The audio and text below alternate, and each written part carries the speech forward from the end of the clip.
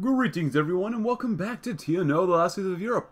I'm your host, Mr. Mocha which right now, we are conducting a little bit of a border raid, or we're getting attacked actually by those over in what we would call Gorky. Ew, disgusting absolutely revolting. But we must do Tatar horsemen. The Tatars that now reside in our territory among the first finest horsemen in Russia. It would be a, huge mistake to not make use of them. The formation and integration of Tatar cavalry into our divisions would provide our army with much needed mobility without requiring even an ounce of petrol. Such a major reformation of the order of battle will take time, however, and some Tatars might prove reluctant to join the very same military they were only just recently fighting, but having such renowned and cavalrymen numbering among our ranks will surely prove beneficial for any future campaigns we may be forced to undertake. In addition, the sense of unity that these efforts would foster among the common soldiery would go a long way towards progressing our efforts to permanently integrate Tatarstan. And for you to get slightly more recon, cavalry attack, cavalry speed, which doesn't really help us that much, but hey, whatever. We got a couple comments to go through, and uh, yeah, hopefully we can defend well against Gorky. Um, I forgot that I did this a little bit off screen, just a little bit, you know, just played a little bit off screen. Oh, we can't pierce them, which, oh. Oh, there was a comment from the first episode apparently that I didn't read or didn't get to in time of making the last video. Says, don't piss off Gorky. They got a lot of tanks and such. yeah, I, I realized that. Yeah, it took me time to realize that. Oh, look at this. Completely loyal. I need just to increase the number of officers now. Let's see. Increase in officers, slightly decrease loyalty. Um, you know what? We could do decrease standards and then do higher pay. That might be okay. We could buy some infantry equipment, but now we don't believe in that here. So, more officers. Now they're loyal, and then we'll do higher pay, should, which should be okay. Uh, comments. One person said from the last video that he wishes that the Reichskommissariats had more autonomy. They could do maybe a little more interactions with other, you know, neighboring countries. So he likened it to, hey, we actually beat Gorky, look at that. But um, he likened it to Lanius' legion or cohort in Old World Blues. Like, they're still dependent, the Reichskommissariats would be, still dependent on the Reich, of course. But what if they could do their own, have their own intera interactions with other neighboring states and such, and can do their own thing? That'd be kind of cool, especially with the Moscow autonomy, or you know, even the Ukraine. Maybe a little bit of interaction, maybe even with the German sovereign zone. I don't know. That'd be kind of cool. Uh, let's see. Yes, we were very democratic here. Incredibly democratic, yes, with authoritarian democracy. But let's go read the next comment as well. Tata bravery. The soldiers of Tatarstan fought well in the war, but in the end our forces were victorious. Now, before we march any further, we must work on integrating our new population into the government of Samara. While many former, top-level officials will have to be gotten rid of, one way or another. To ease the transition and reduce discontent, we will keep as many of the pre-existing apparatuses of the old regime in place, at least for the time being. This will carry with it the added benefit of reducing the amount of resources we must dedicate to the new territories, allowing our focus to be shifted to more pressing matters. Finally, Zykov himself has proposed a campaign to educate people in Tata culture, with the hope of creating a sense of understanding between our two ethnic groups following the recent conflict in which we get a slight bit more manpower. And something else that I didn't read. Uh, secure control. Nah, I'm going to just say bye-bye. Alright, so we got very high, negligible, 40% efficiency, which is still not bad. And still integrating Tatarstan. And improve oversight. That wouldn't be bad, actually. Food for the civilians. Do the civilians need food? I mean, this is Russia. We already have 95. Uh, medical supplies, not bad. Actually, morale, military morale is not that bad. What happens if we keep going up and getting more goods that we can smuggle in? Is that possible? Discourage fraternization. Nah, smuggle infantry equipment. How much do we get every quarter? 45, 45, 15, 0. Well, we're not losing motorized too much, are we? We're, we're also making it, so I'm not really too worried about that. Actually, uh, artillery is the only thing that we're needed. We can't even get artillery. The luxury gets for the soldiers. Uh, that sounds actually probably like a good thing. I will do that. Average. And then we'll go ahead and cut down corruption next for when we do this stuff again. Hey, but it's average now, which is not bad. Still average, but, you know, whatever. The completed Zykov plan. Cool. Also, there someone left a comment, and actually a few people left a comment, whether it was on the video the last, my last video on this campaign, or in my Discord server. Apparently, the TNO Discord server uh, occasionally posts streams and let's plays of their mod in their Discord server, which I think is really cool. So if you're from there, welcome. And if you don't know me, hello. That's kind of funny. It's kind of cool. I'm totally okay with that. Totally okay. I love TNO probably a little bit too much. It's basically become my new Old World Blues. I play this at least once every single day, so I have a problem. That's alright, though. Uh, let's see, do that one. Hey, there we go. Abundance of officers and completely loyal. Love it. And after Tata bravery, sabotage their tankerinos. The next logical target for our forces is the warlord state of Gorky, situated on a northwestern frontier and ruled by Nikolai Avarin with an iron fist. His gang of bandits is well known throughout the region for its fleets of tanks that allow him to launch raids against whoever he feels like with virtual impunity, but with over-reliance comes weakness. If he can train teams of saboteurs to infiltrate the city and set factories, they can get to work chipping away at our next foe's one and only advantage. Broken carburetors, diluted fuel, mis mysterious ammo explosions in the dead of night, anything that can be done to deprive Gorky of its precious tanks. This campaign is subterfuge. Will not be easy or quick, but it will. Once it is done, the only task that remains will be able to clear up armorless stragglers.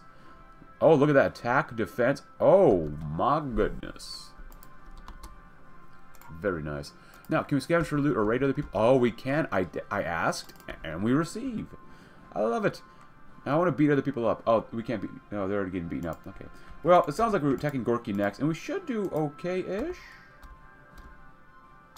Oh, goodbye, Order St. George. Goodbye. Wow, I need more manpower. Hmm. Mm-hmm. Well, let's cut it down to one then, maybe. Save a little bit more manpower for now. That'll be okay and then gun down Gorky.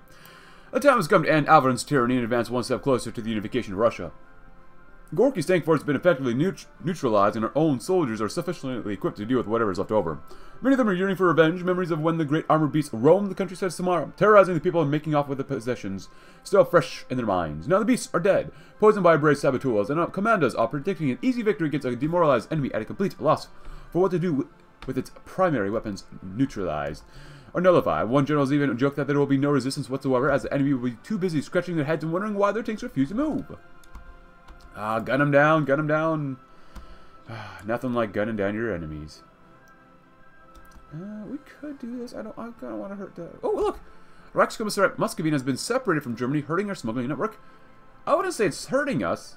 It's actually improved. 45, 45, 50, 15, 60%. Not bad. Oh, there goes the Aryan Brotherhood. Goodbye, Aryan Brotherhood. Ah, hallelujah. Ah, better. Oh, just in time. Better guns, yes.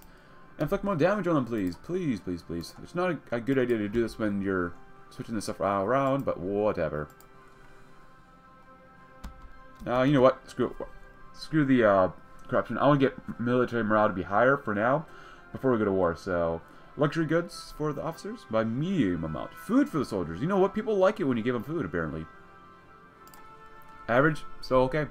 Now it's high. And military morale? That was another comment from yesterday as well. Like, military morale, poor military morale. But now it's high. And we love it high. Hmm. Uh, let's see. Oh, peace conference. Oh, because, well, that makes sense. So, uh, which one do we want to do first? Oh, we want to do this one. Rally the populace when we get there. So, the people of Gorky have been liberated, or been liberated from the tyranny of their bandit overlords, but our work is far from done. Governmental institutions are practically non-existent within the city, and the people lack even those basic social services. We must therefore work hard to bring Gorky up to the standards of our own hands and lands, demonstrating to the populace that we are on their side. So far, we've been distributing a portion of spoils obtained from raids that the bandits that have so selfishly hoarded for themselves. Thus to be returned to the rightful owners, but this is only a temporary measure. To achieve lasting stability, it will be necessary to introduce the gifts of democracy to the city and villages that surround it. To say I have nothing to say nothing of instructing the people in its benefit. Of course, we will still keep a few guiding hands in place, but these will be withdrawn over time, upon which the people of Gorky will be finally be able to experience the fruits of their own labor. Alright, boys and girls, let's go in. We're gonna hit them trucks. Oh my gosh. Oh, when they have such debuffs. Oh, we can pierce their little booties. Mmm.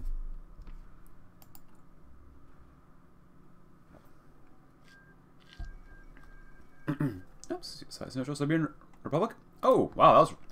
They're the first group to do that, probably. Yeah, these guys are still fighting. Good job. Is that Tomsk? Yeah, it is. Lekhakyov. Dmitry. Uh, the Krasnoya Mobile factory capture. We've acquired the Gorky Tank factory, the largest producer of armored vehicles in West Russia. This factory is a vital part of Soviet industrial production, and saw heavy usage during the West Russian War and the aftermath of the WRRF's collapse and fell into the hands of Nikolai Avarin and his divisions of bandits, who used the factory to pump out tanks for their own raids on the Reichskommissariat Moskowien, an ignoble fate for such an important piece of military infrastructure. Tanks are rare among the warlords of Russia, making anyone who can produce them a force to be reckoned with, and making the factory a highly sought-after prize now that it belongs to us. We can utilize Gorky's tanks factories for a higher purpose than stealing scraps from the Germans. Regaining the capacity to produce tanks will be another step towards achieving the military capabilities of a full-fledged nation, and another step towards declaring a final victory in West Russia. The power of modern warfare unleashed. All right. And let's go and do rally the populace. I'm going to go and just like court if I can. Um, oh, oh, agricultural methods, workers. Ooh, agriculture. I'm going to do anyway just to get it started. We got to get it done as fast as possible. Oh, I just want to raid people. All right. So after this, who's actually we should read the next book to figure out what's next. The false ah Vyatka. Very nice.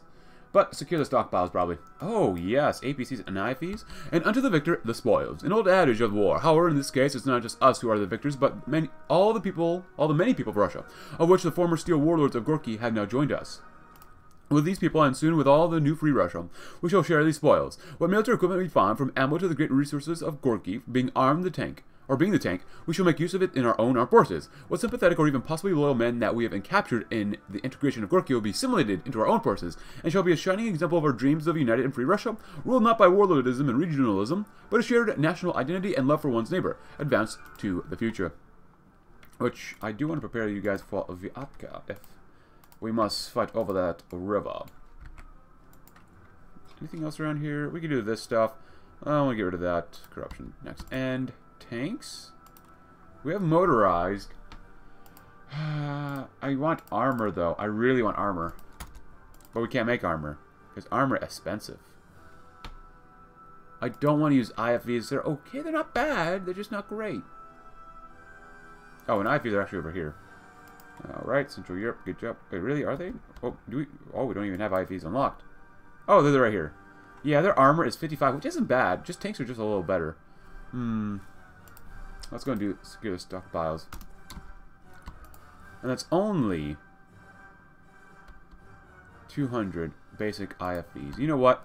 For now, let's see if we can put IFVs on here instead, maybe. How much would that cost? 40? That's not too bad. And this gives us a, just slightly more armor. 6, 4, 6... Uh, that's not really great battalion. Or great division yet. Let's make it like There we go. That's... Oh, we don't have enough for that. Okay, then. We're going to go back. Should just do this. Makes it a little easier for later. Um, oh, actually, APCs wouldn't be bad. That does up the armor a little bit. And give them more HP. And gives them more organization. You know what? If we have to do it like this, so be it. And it requires 200. So we have no one to spare, so this, these are glass cannons. and we only have one division here, so it'll be alright. Hopefully. Well, we're completely done with that, so we don't even have to see that anymore. After that, open the factories once more. Following the capitulation of Avarin's forces, the city of Gork has fallen into our hands largely intact, and many of its industrial plants with it. Chief among them is the Krasnoya Samodal factory, in near constant use since the Second World War, producing the venerable T-34. If we can put the factory back into operation, our forces would be bolstered by tanks and an advantage unmatched on the part of Russia, as attested to by the fact that the warlord who pre previously occupied the land was able to survive for so long. We will not make the same mistake as Avarin, however. Our new armored forces will be integrated alongside the infantry and cavalry in a sensible manner, and new doctrines will be de developed dictating their use. We are not a patchwork collection of Bennetts. Ours is the army that is paving the road to a new Russia. And now that we have the industrial base, that dream doesn't seem so distant anymore. Very good. Hey, remove corrupt officers would be kind of nice. But, oh, someone's, oh, they're taking out Bashkortostan, you say. Hey. Still, political power day is pretty nice. Mm, hey, 14 days for a Tatarstan. Gorky takes so long, though. Oh, my goodness. Maybe I should have waited. Oh, man. My chair and my desk are creaking like crazy. But a cup of coffee to keep us nice and warm during December 1964.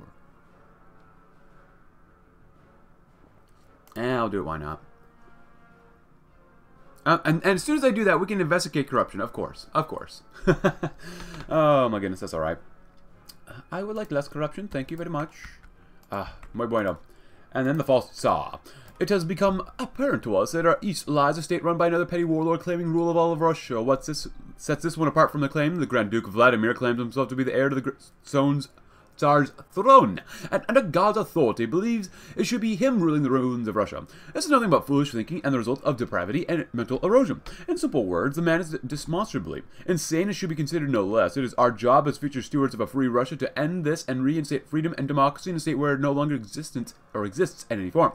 We believe that we can count on the support of the people of Yatkaz, despite what tacit support they may show for the false monarch. The power and allure of a true people's democracy will always outshine that of an undemocratic dictatorship. Alright, so let's go back and go here. I'm going to go three because we're going to need more divisions. Especially um, once we take out Vyaka, it won't be. It'll be a little slightly easier. I'm just a little bit worried about the West Russian Revolutionary Front. That's my uh, greatest fear, I would say, maybe, or maybe the biggest struggle, we should say. And we're making APCs actually. It's not bad. Mm, slowly over time, we're going to be upgrading these guys too. Will we have enough if we actually do this? Slightly more armor. Yeah, we will. We get even more HP. Why not? Like the Pokemon. Land of Freedom. Oh, wait, did this auto... Oh, okay. From understanding, Vyaka is retrogressed from the Soviet styles of communal ownership back to the semi-feudalism that was practiced under the old Tsar, of course. Of all the causes that rattled the people of Russia to rebellion, there was none so potent and powerful as the cry of the people's ownership of land. This is this sentiment that we will use to our advantage in the many leaflets, posters, and secret speeches that our infiltrators will place throughout Vyaka, reminding them of the old leftist cry peace, land, and bread. If the land isn't controlled by the people, Vyaka fails even more on the account of freedom. There exists practically no freedom in the state of Vyaka, with all orders coming down from the Tsar, Vladimir. The people of Vyaka deserve far more better. They deserve the liberty of all, of all that of Russia deserves. And with that, we are determined to deliver it to them at the end of the gun barrel. Oh, slight decrease recording time.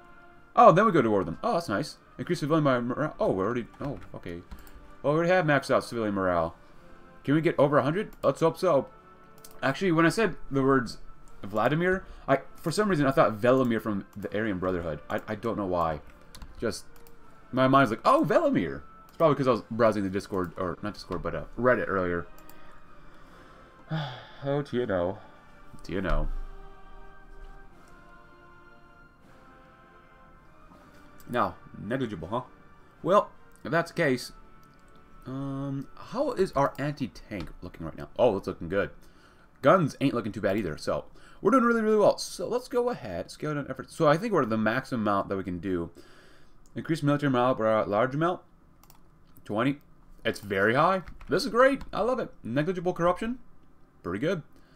Uh, yeah, I definitely want to make tanks and such, but we'll get there. Very, very high. Nice. Doesn't help us attack any better, but whatever. Remember February. In February 1917, the people of what was then the Russian Empire stood up for themselves and said firmly enough that that was enough. That authoritarian rule by monarch as cold as unfeeling as Tsar Nicholas would not continue. As his mandate from the people had long since expired, and that his cruel imperialist wars throughout Ru Europe that sent so many Russian boys to their deaths had to end as well. Today we fight for the same thing, and for that reason we must all remember February and the brave men and women who lost their lives in Petrograd fighting for it. We must, we must now take his legacy and use the spirit to take down the corrupt regime sitting in Vyaka, calling themselves the emperors and princes of Russia. We shall initiate an all-out offensive, taking care to keep our troops as safe as possible, to strike deep into Vyaka. We're sure that as soon as we can take the capital and secure and capture Vladimir, the entire system will collapse. LBJ seems like LBJ usually wins the, the presidency in most of my campaigns now, at least at the time of this recording, which is not necessarily a bad thing. It's just I'd like to see something else. When do we get Gamer Wallace in? I'd like to see Wallace. I think he's with RK, I think. Or Bennett. I don't know. Still need to play more American TNO. I definitely need to. I need to play more mods from uh, um, regarding TNO. There's a lot of sub mods that will come out eventually. Hmm.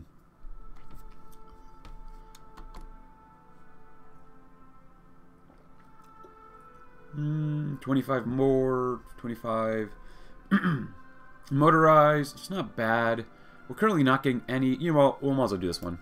It's average. Whatever. and then we got to save some uh, political power to core Vyatka territory. Vyatkin territory, one might say. Uh, where's my motorized? Are you... Oh. Okay, then. Ah, uh, should... Oh, you're fighting these guys. Oh, oh, hello there. There you go. Hopefully that'll be all that we need to do. I wonder... Ooh, if these guys win, Komi wins. It looks like they went... Oh, no, no, no, no, no, no, no. Zhdanov has won. Libertarian Socialists. Oh, my goodness. Oh, no, no, no, no. Hopefully we get all this territory and they get jack squat. Alright. Oh. Actually, you hold. And you go back straight into their booties and tell them to bugger off. I thought doing too much, maybe. Um... Oh, yeah, we have you guys here. There you go. We have some, what looks like maybe World War One fighters. oh, boy. Oh, this is cast too. Cool. There you go. Help out. There we go. Now we should win pretty easily. Uh, what is their speed? Ah, 10. Oh, is, has Izhevsk mechanical plant captured after conquering the city of Izhevsk. You have secured control over the mechanical plant, the single greatest center of arms production in West Russia.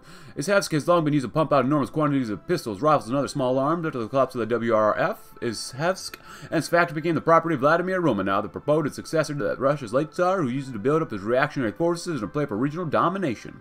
Now that the plant's solidly ours, we can use it for the same purpose. In the Great Patriotic War and the West Russian War, it was one of the primary producers of weapons for a huge number of soldiers. We can ensure that our armies are armed with new, modern firearms that while our opponents struggle to assemble outdated arsenals, drown them in a wave of lead, more reliability, less production costs, uh, for support equipment and infantry equipment, as well as artillery. Ooh, artillery plus 20% reliability. Nice. And more output. Go straight to Perm. We gotta end these tyrants. Despicable. Nice. Okay, those guys have been cut off. You guys keep these guys in place. And we got Perm. Let's go to Bursk. Ba ba ba Bursk.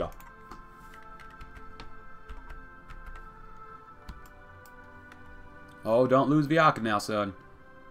I want you to hold.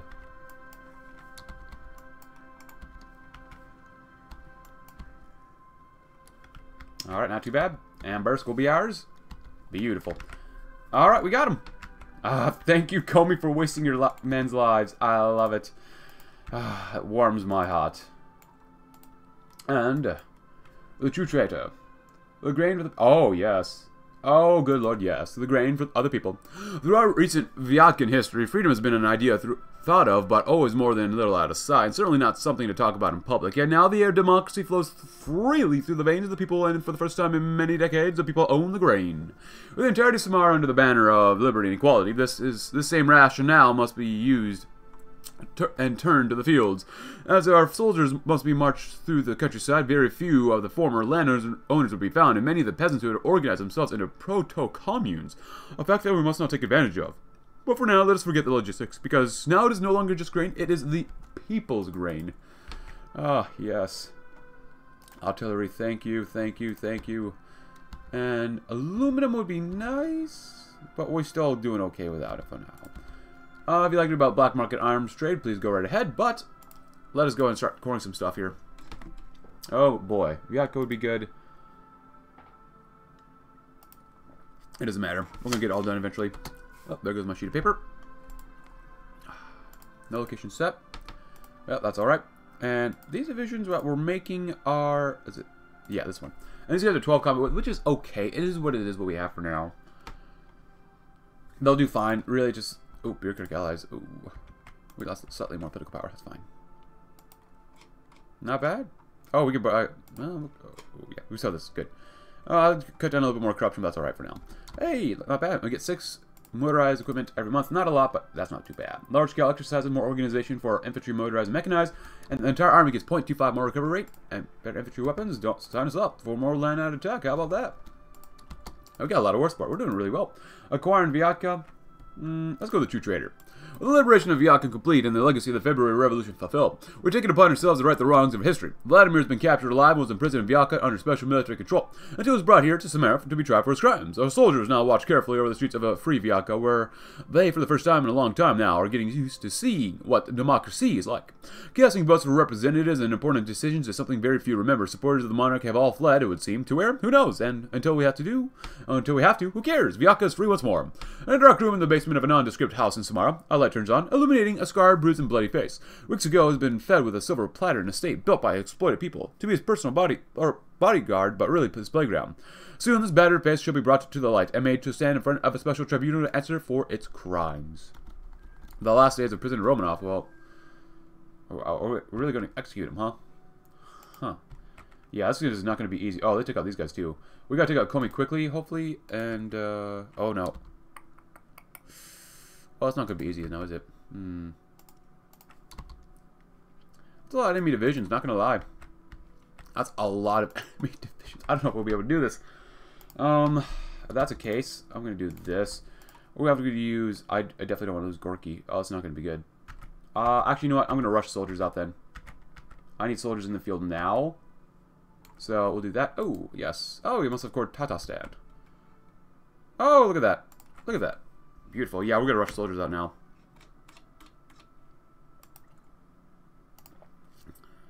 That'll be good. Just gotta rush them. Look enough equipment uh, on their way out. Let's see. Yep, that's enough for them. Uh, Anti-tank, we're actually looking pretty good on a lot of stuff here, actually. Fighters? Sure, why not? Oh, tactical. Well, we are using castle already. I don't know about tactical bombers then. There you go.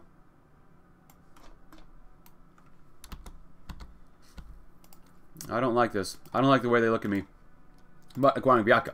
With the Tsar and his cronies gone, many important industries in the former private serfdom are now in our hands. The Vyatka Distilleries was a project underwent by the Tsar's minions in order to please his demand for more and more booze and money.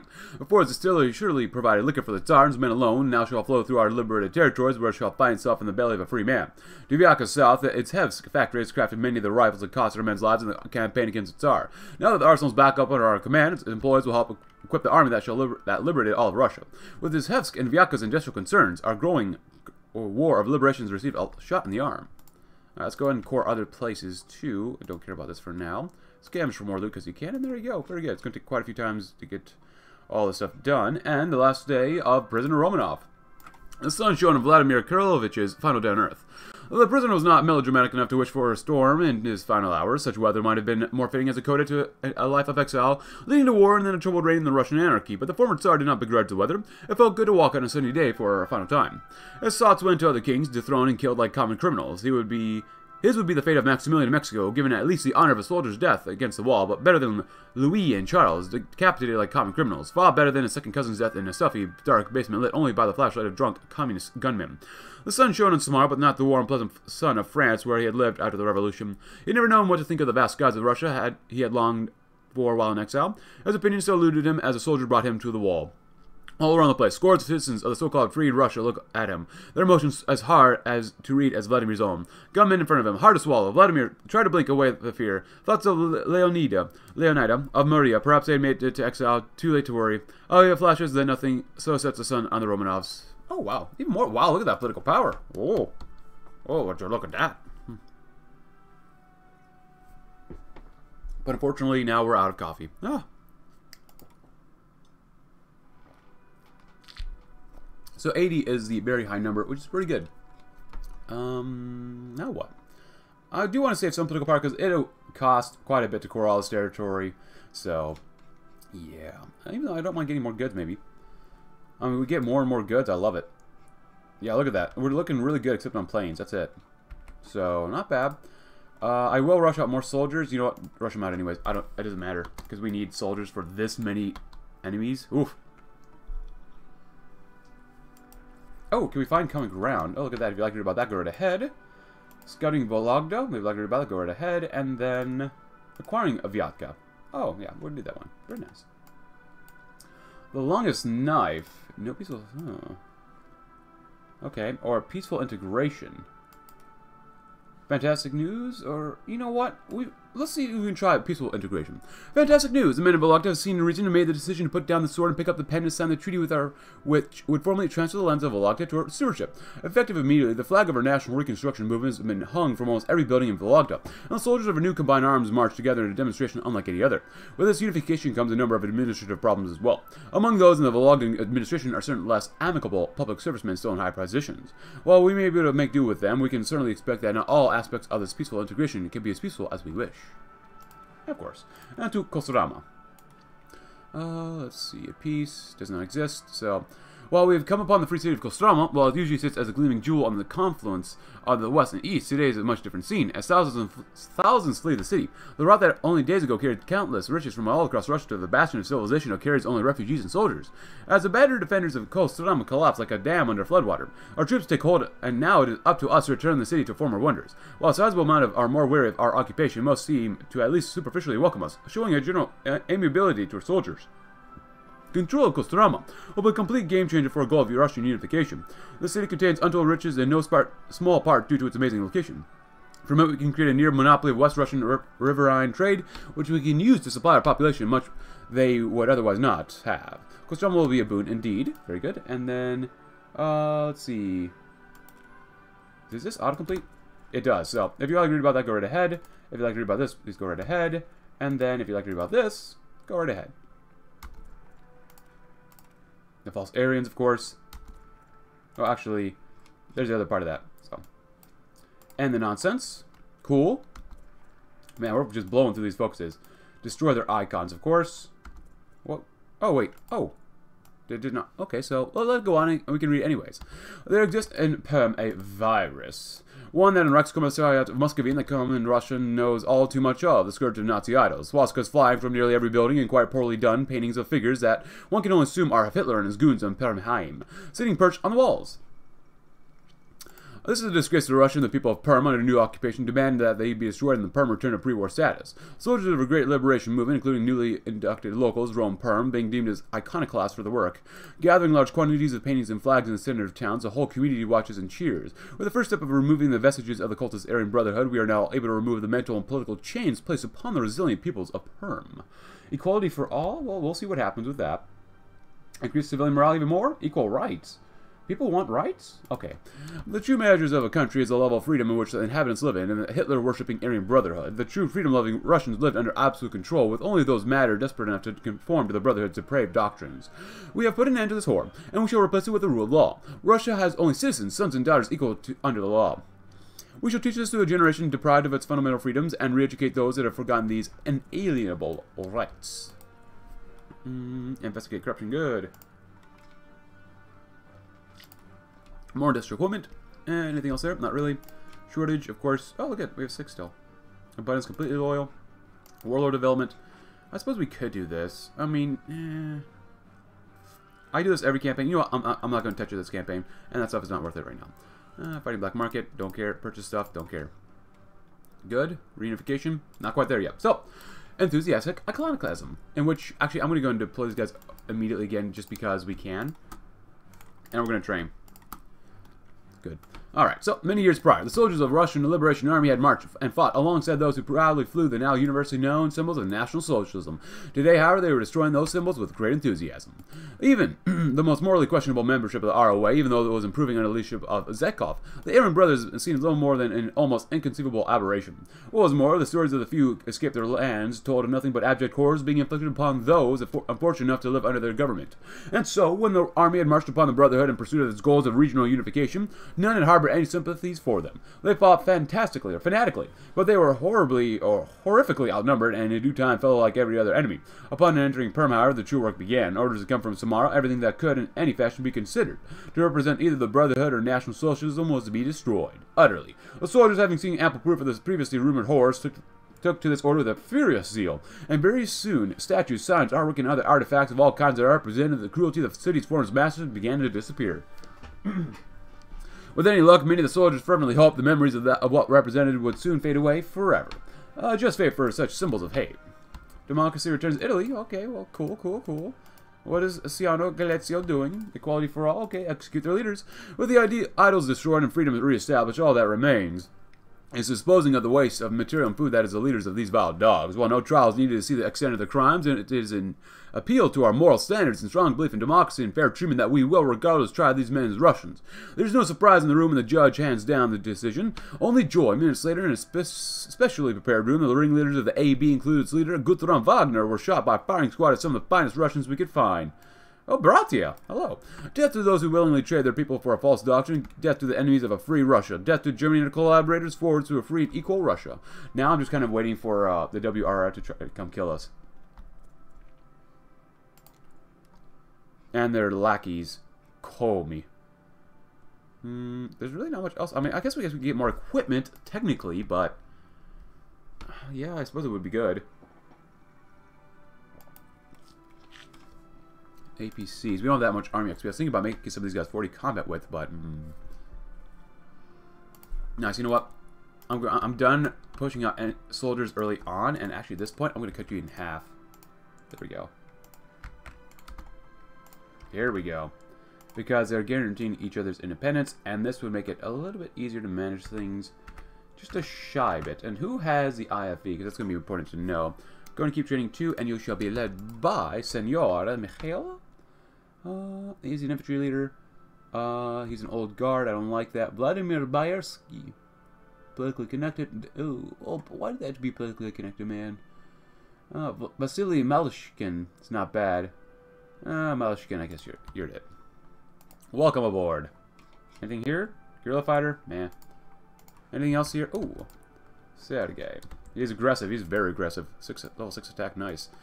All right. I want to spend the political power, but it's so tempting to do so. Smuggle stuff in. Ooh, ooh, we might as well smuggle something in, right? Anti-tank infantry equipment. Which one do we have lower? Less anti-tank or less equipment? Anti-tank it is. Because actually that's more difficult to create, so. Or to make. Or create. Either one. Execute their leaders. Ah, very nice. And the remaining threats. As we continue our march to liberate Russia, we can now see the light at the end of the tunnel. With the West Russian Revolutionary Front and its despotic bureaucrats gone, all those who remain are a little match for a nearly united West Russia. It's time to take the gauntlet of liberator of all Russia and complete what we started. We shall wipe from Russia the scourge of warlordism and disunity, replacing those that wish to keep Russia fragmented with those that yearn for greater freedom for Russia. It's up to us to ensure that the idea of a united free Russia does not vanish from the face of the earth. Good, they get less war support. Muy bueno. Followed up with Fanatical Monks. If you'd like to read about this from the Order of St. George, go right ahead. And Christ loves all, of course. The Syncretists. Oh, if you'd like to read about better industrial equipment, this happens every campaign when we play as a Warlord, go right ahead. But beautiful. Even more construction speed, I love it. Berezniki's gone already. Show them the way. and they're gone. Uh, Bashkiria. If you'd like to read about Bashkiria, please go right ahead. And exerting your hand. And there's that one, too. Oh, well. Oh. okay, we actually do this one. So, with the capture of Ufa and the escape into hiding of the government of, of the Islamic Republic that controlled it, it's now up to us to ensure that our liberation of its population is more than just words. While we speak so much about our noble fight against harsh Islamic law oppressing Orthodox Russians, it would be more than hypocritical to turn around this oppression to the local Muslim population. For this reason, we must take or make amends from Bashkiria's Muslim population. A council of Muslim leaders, chosen by the Imams of Bashkiria, shall advise the new secular Russian government of Bashkiria along with the Council of Orthodox Christians. This compromise will ensure that religious violence and decisions regarding religion within Bashkiria will be promptly advised. Oh, it's already time for the Indonesian War? Holy cow. It's only 65. Oh my goodness, I'm enjoying this way too much. I'll show them the way though. I guess I'll actually read this one then. The Tsar schematics in the Berezniki had the right idea in a way. Or schismatic, yeah. They uh, sought to mend the rift divided in Russia. They sought to do this by unifying Tsars and the Soviets. Their efforts were doomed from the start as both Tsarism and communism are poison to the modern Russian nation. Only the restoration of a free and open republic by the ROA can peacefully end a decade of civil war. We will take in every former Mladorosti who understands this and have the rest thrown in jail, waiting for their trial uh, what was it? Communistic monarchism? Was it something like that? Monarcho-communism, that's what it is. Monarcho-communism when? Monarcho-socialism when? Loot! That's the most important thing here. Oh, are we getting... Yeah, look at that. Nice. Exercise, my boys. Oh, how are we doing down here? So, industrial, nascent industrial base. It's not bad. It's still going up by, like, 1.25. Okay, so that's looking better. Actually, oh, look at that. Manpower. Oh, I love it. Samara's actually a lot more fun than I thought they would be. I'm glad that someone recommended that we play them. Um, negligible. You know what? Russian industry. Oh boy. Support equipment. Let's grab some more guns. And then do that, because we can. Alright, show them the way, and then the fractured state. Of all the states of the new Russia, there's one that puzzles even the most who have spent the years of their lives researching post-World War II Russian politics. Let's say that being Komi. Komi, before the war, a gulag ASSR and a coal mining backwater became the center of a vibrant post-USSR political landscape, with people of all ideologies struggling for power in the Komi. This political landscape Oh, look at that! Yes, yes! This landscape has created a state so divided that we believe it will have little difficulty invading the Tory nation. With a plethora of politicians in Komi, we believe that we will have little difficulty in fighting allies amongst the rivals. In doing so, we shall cement our legitimacy in Komi and able to bring order and political stability to a land so troubled by the lack of it. oh, yeah, this is nice. Oh, this is nice. You know what? If they win, if the WRF wins and takes the territory, that means we don't have to deal with the compliance, right? They can deal with it early on. And they get to lose their own men. Takagi elected? Nice. Alright, so we're going to be done doing this.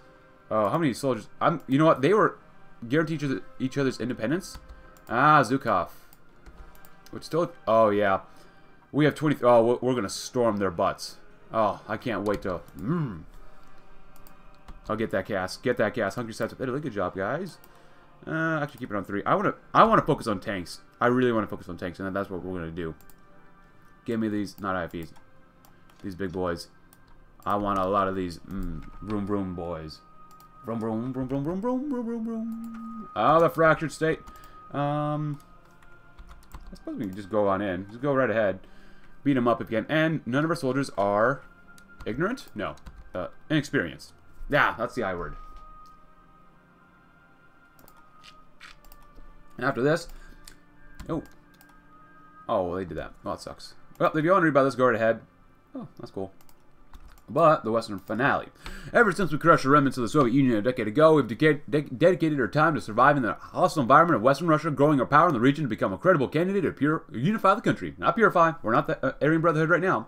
The West Russian Revolutionary Front, as it turns out, was not as e not as defeated as it appeared. Our old nemesis headquarters in Arkhangelsk is once again poised to threaten the freedom of every Russian man, woman, and child. This time, we will not fail to grind them to the dust.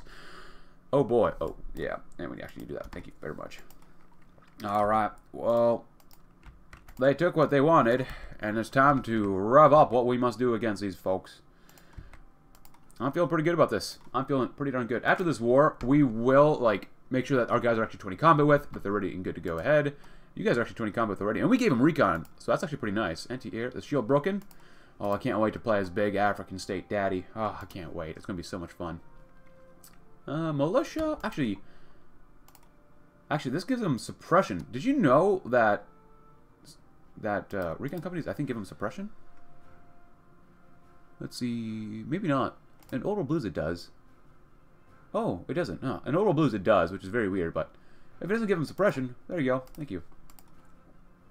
And I want to do this before I forget, because it'll save us some equipment too, so. Uh, I could use infantry for this. I use militia just because it's cheaper. It's really just cheaper in my opinion. Uh, do civilian oversight. There you go. If you'd like to read about this, go right ahead. Okay, but yeah, I mean, infantry, like, compared to base game, infantry 2 no, they require anti-tank already, so. And because of that, I don't want to produce extra anti-tank just to put down resistance, which doesn't make any sense. So yeah, there you go. It uses anti-tank.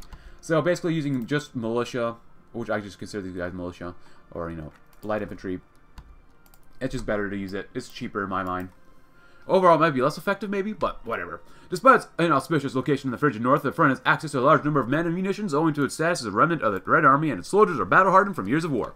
Although we are a formidable opponent ourselves, we must exercise caution. It would be prudent to heavily fortify our border with the front to avoid being completely overwhelmed. The forces of democracy cannot let themselves be squashed. I'm really good. Well, no, let's go war now. Come on. Let's go. Let's go. I'm going to sail Arkhangelsk.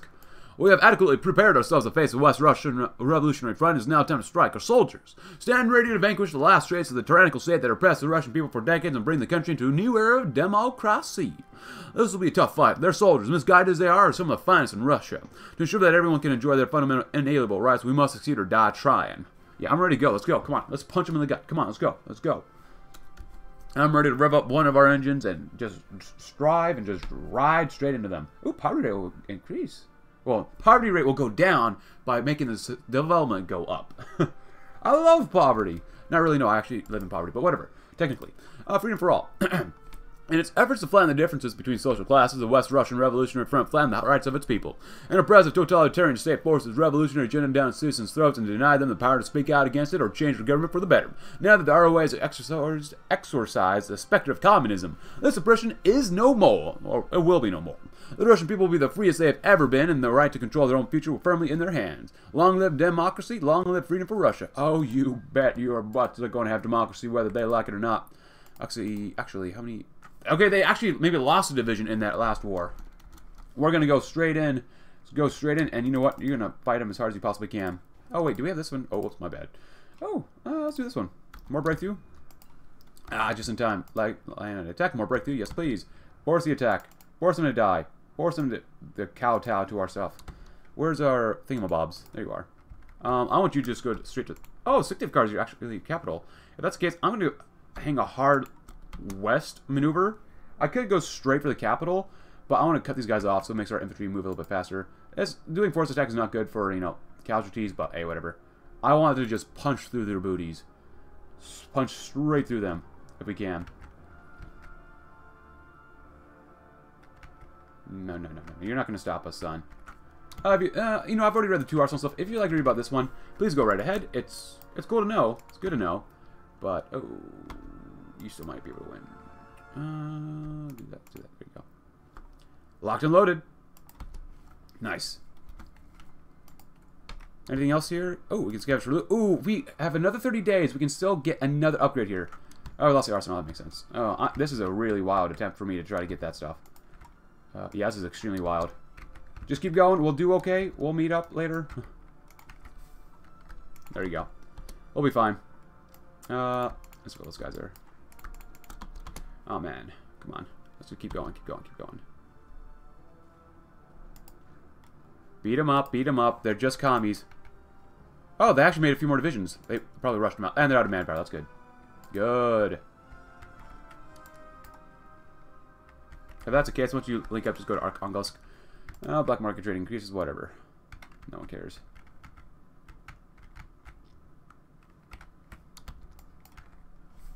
Why don't you go right there? Cut them off if we can. And we've almost linked up. Uh, you guys go right there. You just go straight up there now.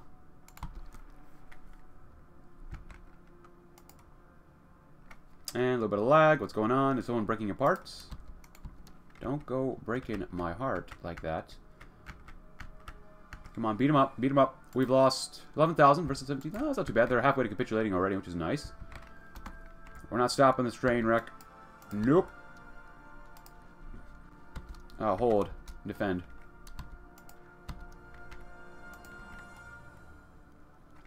Oh, we got it again. Actually, that hurts our recovery rate and war support. But whatever. Locked and loaded. Oh, we got our combos. Nice. Oh, if you just go right, is it here? Battle for Italy. Okay, they're done! Look at that. That's beautiful, my friends. That's absolutely wondrous. Uh, let's go and educate everyone here. I'm glad I saved that political power. I'm really glad I did. We don't we don't even have to do that either.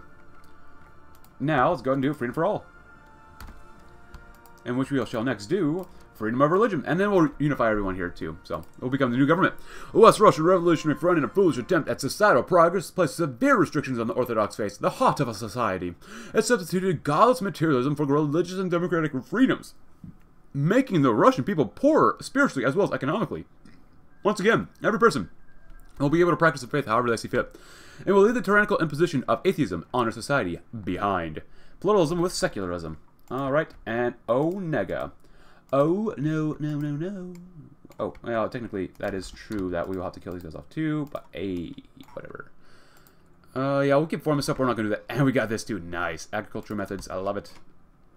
Uh, remove corruption. I'm not to waste political power on that, then. Uh, up next. the awesome. Oh, look at this. We got some commies here, too. Zavoyko. Zavoyko.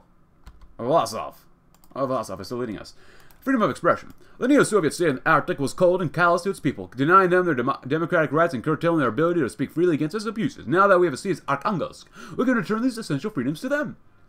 Everyone will be able to speak and express themselves as they please, with no restrictions, other than the great against other than against the radicalism that took place, or took these rights away in the first place. And we have state press and replace it with censored press. We lose political power and we lose ideology drift defense, but we get more 10% more stability, and there goes the manpower. Happy 1966, everyone. Hope you're having a great, great year. What else do we have down here? Anything interesting? Anything different? No? Okay. Just keep giving us our good stuff, man. And go ahead and train these guys, too. Actually, for this infantry, we have, well, only two of these the divisions that are 20 combat width. Oh, my goodness. Suck to half you guys. You gotta be at least 20 combat width. We have not enough manpower for that. And you all are the 12 combat width. Will we have enough for this? Uh, we might, so. That's totally okay. Train to make yourselves 20 combat width at least, and uh, Leon takes over Breton government, huh? The Western warlords subdued. It has been done! Western Russia has united once again thanks to our valiant men of the ROA and the sacrifices of our civilian population. Widespread celebrations have begun across our nation as men and women celebrate peace for the first time in decades. Chairman Vlasov is expected to give a speech celebrating our victory. In particular, voice of the people and Deputy Chairman Zykov is expected to receive his share of the glory for spearheading the reforms that brought us here. Of course, many obstacles remain on the path to unification. Many communists and terrorists still plot revolt against us, and reports are reaching us of unification in Central and Eastern Russia. But as long as Chairman Vlasov and Deputy Chairman of Zykov are there, the ROA shall march to eternal glory. I remember, like, I was, like I said earlier in this episode, that, you know, sometimes my campaigns will be featured on the TS, TNO Discord. Uh, when you put the little emojis underneath, some people, like, wrote that I'm playing as a, uh, what was it? Luxembourg because of the flag of Samara actually just Luxembourg. It looks like. Actually, what's what's going on here? So wait, oh, for this one. Oh, we have to be original. Okay, now we can switch back over here then. Nice. Very good, my friends. Gorky is named Nizhny Novgorod, and okay, my friends, it is done. Western Russia is firmly under our control now. Samara, a democracy imposed at gunpoint? You bet your booties it is. Oh, request, finish. You know what? We'll try this. Uh, usually I invade them. I don't always want to invade them. Actually, I always want to invade them. Let's be real. I always want to invade. We'll see what happens. We'll, we'll give them a two weeks to decide on their fate. We have point zero three billion and no debt. I love it. Another research slot. Very good. 1966. Let's grab some more civilian construction speed because we going to need to build, build, build. That's that B word. we going to build. Oh, wait. What happened to the stuff? The judge. Oh. Oh, no. Um, do that one first. There you go. Oh, no. Overextended administration. Oh, you're breaking my heart. Oh, yes. I love this stuff, though. All right. So we want to hire important instructors for more army, more army professionalism. That'd be nice. And let's see, weekly stability, seven. Actually, that's not too bad. 35 days is about five weeks of uh, stability, right? Five times seven. It should be 35 days. So five weeks, 10% more stability, 5% more war support. Oh, poverty relief, though. I gotta do that one. There you go. All right, we lost all that political power. Boost. And you can cut now, actually. So, Judgment of History. The officer's Andrei Andreevich Vlasov was incredibly barren. He had intentionally ordered the removal of most luxuries from his office and his living quarters two years prior in a vain attempt to stave off his ever-present guilt. The old marshal stood looking out the window, a drink in hand. He couldn't remember the time. All he knew was that it was dark out. Midnight, maybe one, two. Who cared? The night was the only time that Vlasov could be alone. Every waking hour of the day, he had aides, officers, and administrators asking him for the most mundane of questions, but lately he's become disinterested in answering them, instead preoccupying himself with a reflection on his life's work. What was it, if not the committee? And what had they accomplished? At what cost? These were the questions that resounded in Vlasov's head day and night. And for the life of me, I can't figure out the answers, he mumbled to himself. He couldn't even remember if his alliance with the Nazis was one of pragmatic survival or the desire to see a Russia forged in his image. He barely had an image anymore. He continued to pace around the room, occasionally glancing up to the stoic portrait of himself uh, that his aides insisted he keep in his office. A single word came to his mind, a legacy. What was to be his legacy? Vlasov had always thought about writing a book, after all. Who else would tell a story of the way it should be told? The Germans remembered me as a traitor, the Russians remembered me as worse. Those in the West barely even know who I am. He stated to no one in particular. Realistically, no book would be coming. Vlasov knew he couldn't. After pacing some more, he sat slumped in his desk chair, looking at his drink. It had become harder to resist the urges to refill the glass over and over with a premium vodka he liberated for himself. He looked at the glass. It was now empty. When, when did he drink it? He couldn't remember. Glancing towards his desk, there were two items that came to his attention. A bottle and a service pistol. A brief idea crossed his mind, but common sense got the better of him. He said to retire for the night after a long, deep sigh. The curtain draw closer to the chairman's career. Oh boy. Oh boy. Vlasov, you better not do that. We need you to... Hey, we changed our flag. Actually, that's not... Hmm. It's not a bad flag. Eh, maybe we won't look like Luxembourg for too long then, maybe. Very, very nice. And now Finland requests our terms. The Finns are somewhat receptive to talks. Our ambassador informs us that Helsinki has agreed to a high-level diplomatic conference between our two nations. It is pleasing that the Finns have not done anything rash and have at least agreed to give us some time to make demands. Some cynics in our government suspect Helsinki of merely stalling for time to order a full mobilization.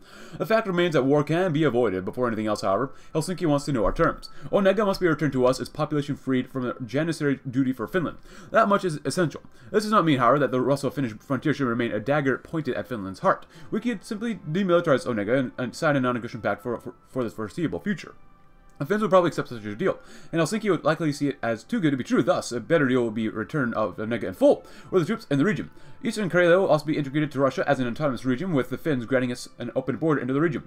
This would return us to the Arctic port of Murmansk. Southwestern Karelia and critical city of Vyborg or Vipurium, Finnish, would stay under Helsinki's control. Demilitarized zones and non-aggression treaties will follow, preventing any future war between our peoples. Of course, we could just demand it all. No matter how attached the Finns are to Vyborg and Southwestern Karelia, the paltry army cannot save them for long. Onega's ramshackle mob of conscripts will not slow us long. If they choose to fight, the countrymen at all. The Finns will agree to our demands for Onega and all of Karelia, or pay for arrogance. Uh, Onega's return. Murmani I want all of our stolen, ter stolen territories back. Before we click on that, we need to read uh, our next focus, of course. But let's take a look at this. Consider democracy, 85, 95,000. Up to 10, no, I want all territories back. No. If, if they're going to be that weak, then no. The death of Vlasov. Wow, okay, he just dies. Early this morning, General Andrei Vlasov, the founder of our movement, was found to have died peacefully in his sleep. In poor health for many years. Vlasov was well aware of his own mortality, and in order to prevent disorder and confusion following this event, previously declared his favorite successor in the so-called secret speech to the, ten, to the then committees assembled officer corps. That successor had been informed of Vlasov's passing, and the con continuity and transition procedures previously written by Vlasov's office had been put into effect. A complicated man, Vlasov leaves behind an equally complicated legacy of both collaboration as well as liberation, and it's not clear of how his past actions will be remembered in future years. Regardless of such future perceptions, however, the state he founded in the aftermath of the WRR W provided us with the foundation necessary to achieve regional unification, and this should not and not, will not be forgotten. Vlasov's successor now, or you know, Zykov's, will now face a daunting task of not strengthening only our control over a region where many perceive us as illegitimate, but also preparing us for the conflicts as we come as we pursue our ultimate goal of liberating all of the peoples of Russia, from Europe to the Far East. We hope they rise to meet the challenge. Zhukov assumes overall political authority. We get very high civilian morale and very high military morale. Nice. Decreased civilian morale by a very large amount. Oh boy. Hey, but new focus tree now. Oh, poor Vlasov. Interesting fellow in the real life. Ah, Chairman Vlasov has died. Funerals are being prepared in the capital, and a national week of mourning has been declared throughout the nation. Even more important, however, is to ensure the stability and orderliness of the transition. Our army, despite its triumph throughout western Russia, is badly overstretched. Vast amounts of territory are being managed by officers and dubious loyalty uh, of dubious loyalty to the new chairman. Even more disquieting are the rumors of revolts against the rule. Communist remnants, ethnic nationalists, and other agitators are suspected of moving weapons in around in preparation. We must be vigilant. And we got this stuff going as well. And this stuff, high, average. Oh, the long dawn. I'm still integrating other places. Cool. Zhukov was the first to hear the old man's passing, a quiet and peaceful end of the night, the doctor said. Better than he deserved, according to many, but Zhukov wouldn't hear of that. Today would be a day for mourning, and whatever the chairman's faults, he was still the liberator of Western Russia. Regardless of whether the people would accept the truth, Zhukov would have spoken it. When the time came to bury Vlasov, it came on a cold, rainy day. First, there was a procession through Samara, with the guard of honor flanking the general's hearse. Thousands lined the streets, as was their duty, but stayed no longer than expected. Second came the service. After Zhukov, Bunyachenko, Oktan, and Meandrov bore the coffin up the steps of the rebuilt Cathedral of Christ the Savior. All spoke in German, Meandrov of his victories, Oktan of his strength, Bunyachenko of his dedication. At last was Zhukov who spoke of the general's dream, for a brief few minutes. The officers and civilians back in the pews forgot their treasonous origins, thinking only of the brilliant tapestry woven by the mysterious man from Ukraine. A flag of the ROA, flew at half-mast from Samara to Arkhangels, the blue cross reminding all beneath it who had given them a second chance at sovereignty. Though they were few. There were those who saluted their own accord, dotting their hats in a moment of silence for the passing of a humble giant. Most of Russia would never forgive Vlasov for his actions, but Zhukov, as he sat the general's old office, at as he sat the general's old office and raised his solitary toast to the old general, expressed his thanks for standing by his people to the end. The night is darkest before the dawn. Cool. We will invade if we have to. Uh, not bad, not bad, not bad.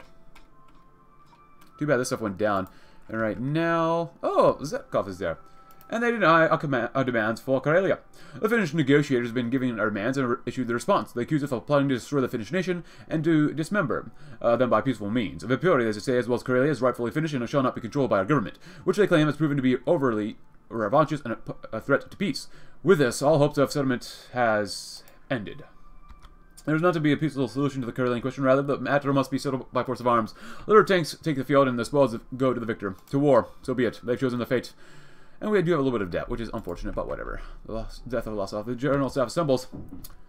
The Onegan conscripts have been busy on the borderline, or borderland, digging trenches and settling into their forward positions. Ever since we've left the peace talks, the Onegans have followed their master's biddings and begun preparing for all-out war. It is regrettable that we must fight our Russian brothers, but the Finns' arrogance has brought this upon us. The general government's, or the general staff's analysis predicts a rapid collapse of the Onegan militia beyond them. The lakes Onega and Ladoga create choke point between the Finns uh, intended to defend bitterly. A rapid breakthrough followed by a push into eastern Karelia will bring the Finns to their knees before the fully mobilized. War it is then. And our soldiers are pretty much fully ready to go. So be it. Finland, we gave you an, a choice, and you said no. So we must do what we must. Actually, I want you guys to go there. There we go. So be it. Oh, there goes Oslin, that part of Oslin, I guess. Cappy Flow, if you'd like to read about this, please go right ahead. A toast to our future successes. Muy bueno. And now I should probably not have cut down the budget, but whatever. And they're gone. Cool, break over the road, get to Kemi as fast as possible.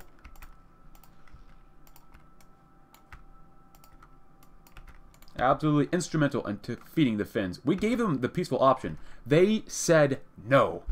So we must kill them. We must destroy them utterly. We shall at least attempt to burn Helsinki to the ground. Move, move, move, move, move, move. Get over that river.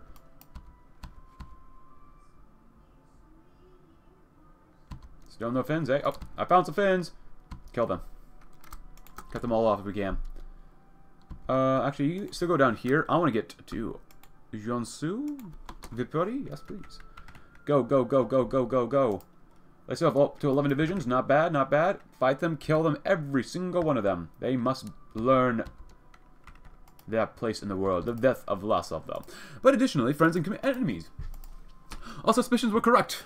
The rebels rising up against our rule in several sectors, claiming that our authority is non-legitimate. Only a strong communication blackout has managed to prevent the widespread of civil disturbances in our biggest cities. This setback risks turning into a catastrophe as several ROA units are mutinying against the new chairman. Contradictory reports that the soldiers are simply asking for better pay for an end to the wartime discipline, or that they refuse to serve the new chairman, make it difficult to ascertain the scale of the problem. We must act quickly. A contingency plan to secure the capital must be put into effect. Traitors must be rooted, rooted out rapidly.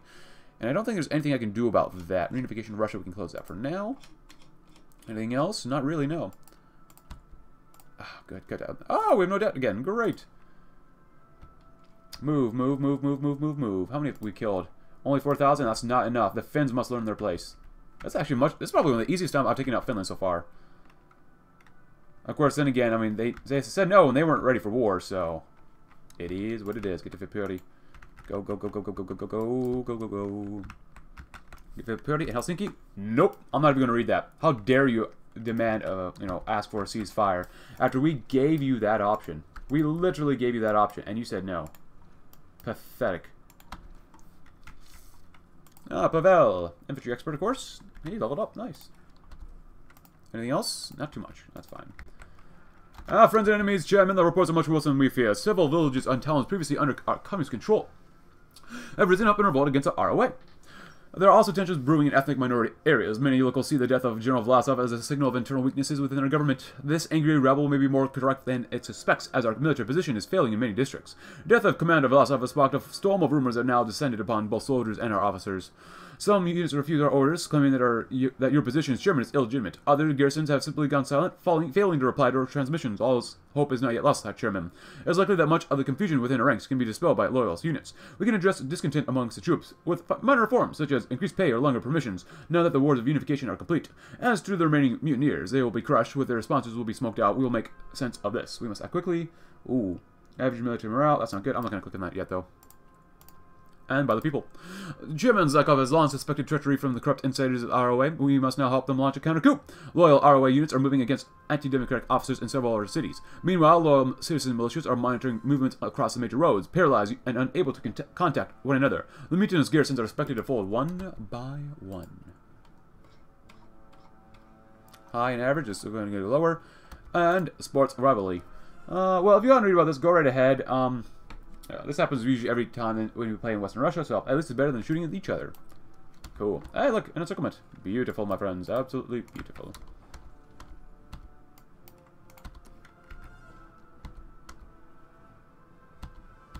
Good. You don't let them move. Nope. I am not going to read it. I'm, I'm, sorry if you wanted to read it, but I'm, I'm not going to play around with these pieces of garbage Finns. Are you kidding me? Like, seriously. Uh, let's go to Turku. And we took Helsinki, so, I mean, we're doing really, really well.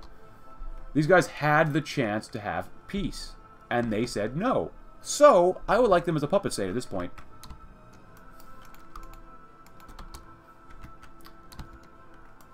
Oh, I want more. I want more war. I want to get rid of these peoples. Uh, I don't think we can move fast enough for us to fully annex them, can we? Oh, that'd be so cool if we could. That would be so cool if we could.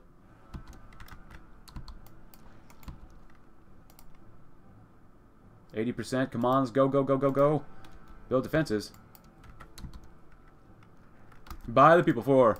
Are we not all brothers struggling together for unification? Have we not fought shoulder to shoulder, side by side in the trenches for years? If you lay down your guns now, our movement will be saved and no one will be hurt. I can promise that much. Remember, men, struggle not against your family, but against those who wish to take it away. Today, Zykov took to the air to announce the end of the mutinies and encourage the few still in arms to give up, offering amnesty to all those who were not directly involved in instigating the mutiny. The path to end the mutiny and prevent the implosion of the ROA into a civil war was engineered masterfully by the veteran propagandists, who seemed to perfectly recall the tenets of Machiavelli preached centuries ago. Zykov had bribed all those who could be bought, talked down those who could be talked, and threatened violence upon those who could not be satisfied with either. The combination worked, and if only barely, armed confrontation was reserved for to a few hardcore mutineers who utterly refused surrender. All these facts and an aura of relief brought by them were now swindling, swirling around the heads of the committees by which Zykov now stood in front of. The enigmatic orator had given a courtesy briefing on the situation and as follows. However, this coup de grace was yet to come. As I'm sure you're all aware, it was perfidious Octan, who organized and financed this mutiny against the authority of our dear chairman. For most, that was a surprise. The truth of the situation was that Octan had nothing to do with the revolt, but Zykov knew an opportunity when he saw one. Indeed, it is clear, at least to me, that we can no longer tolerate rat-like insubordinates in our ranks, no matter how entrenched in favors they may be. Zykov looked around the room, his cool gaze analyzing each member. He was confident in their vote. One by one, each consented to Octan's arrest. Very well. It, if it is the will of the committee and our dear chairman, I will gladly order the rest of Octan and a subsequent trial. Octan will not, in fact, get a trial after his arrest, during which he made no small protest, was taken to a small barn near the outskirts of Samara and given a sentencing, similarly being shot. His body was burned in a hut backyard, and that was the end of Muktan. Oktan, I should really say. Can we move faster, faster, faster, please, please, please, please, please. Move, move, move. I want to capitulate them. What are you doing? Get over here to Oulu. Oh, actually, if you guys can get up to here. How many more days do we have for this? Oh, only two days. No! I want to take them out. Ah! For the people. The soldiers have backed down, leaving their officers to the fate. This leaves the matter of the civilian resistance. We have been accused by our opponents of being soft, sentimental types. That Chairman Zykov would merely abdicate all power to the masses. Nothing is further from the truth. If Russia is to become strong and free, no one must be able to dictate her actions. An ultimatum has been sent to the rebels. Those who do not stand down will see the wrath of the ROA. We hope that they survive eh, long enough to understand the errors of their ways. We were so close to greatness. 96% of the way there. Oh my goodness. Take him, take him, take him. No, no. No. Oh, we're so close. We're so close. Ah, no. We're, ah, that's frustrating. Oh, we were so close to taking him out. Ah. Yeah, we need more artillery now. God dang it. Let's read one more, folks, and then we'll be done with this episode. We're crushed. I mean, hey, the Finns wanted this. They literally wanted this. And we can't even integrate Onega. Oh, that's still high in average. Not bad. Do we still get, oh, we still get stuff for the people. Outside of a small village, about two and a half hours drive from the city of Samara, lay in a pile roughly 30 dead bodies. Well, however, half of them were wearing the ROA's uniforms, the other dead were clearly partisans. The confrontation between the partisans and the local patrol taken place when a routine inspection of the village led to the discovery of weapon caches, partisans hiding in plain sight. A firefighter then suit saw all the parties, partisans killed, but most of the patrol as well. The dead ROA, which featured kids as young as 16, were sorted into one pile with another far more uncouth for the dead partisans, mostly young men and women. Vlasov, who was shocked to hear that there was such a coherent piece of communist resistance so close to the capital drove himself to see the aftermath. Well, he's dead already. Accompanied by two of his bodyguards, they examined the carnage after personally ordering the surviving patrol members to not exact revenge on the surviving villagers. One of the bodyguards, Belochkin, was pers a personal confidant of the old general. He could tell that for the first time in a long time, Vlasov was filled with emotion, even though he's dead, and none of it was good. His mouth formed into a tight-lipped grimace as he walked throughout the village. An explosion of anger eventually brought the usual laconic general into a yelling fit, shouting at the pile of dead partisans. Who do you think that you could do what you try to do? He asked in the pause. Was he waiting for a response? I've worked years, no decades, to bring about a Russia free from communism, free from tyranny, all in and all of you who so stubbornly resist my efforts, indoctrinated by the dudes I beat years ago, you wasted the lives of brave young men who fight my good fight. Belokchin was stunned. He looked around, villager and soldier alike froze, observing the marshal's outburst. Glancing towards his fellow bodyguard, he slowly approached Vlasov, who then since then fallen silent. Careful not to touch him, Belokchin, Belochkin quietly whispered in the ear. Perhaps, my chairman, it's time for us to go. I'm sure you need it back in tomorrow. Well, he's dead. Uh, he weakly agreed. The drive back to the capital was a very quiet one. Uh, last bit of passion from the tired old man. Well, he's dead. But let's conclude with the ROA fights on. It was never, it was a near run thing at time, but we've beaten back the opposition. The aftermath, of course, was not pretty. Plenty of soldiers are dismayed to know their comrades took up arms against the state. Former mutineers that have received pardons still eye, still eye our authority with contempt. And out there in the provinces, many civilians are just now understanding that our government came very close to being toppled. More resistance can be expected in the future both from disgruntled ROA soldiers and officers as well as civilians who loathe our government. No matter what, however, the ROA fights on strong and unbroken, I hope you enjoyed this episode. If you did, leave a like, subscribe if you're new, check out my Discord link in the description below, and I'll see you tomorrow when we shall entrench our rule and watch the world burn around us. Thanks for watching. Have a great rest of your day.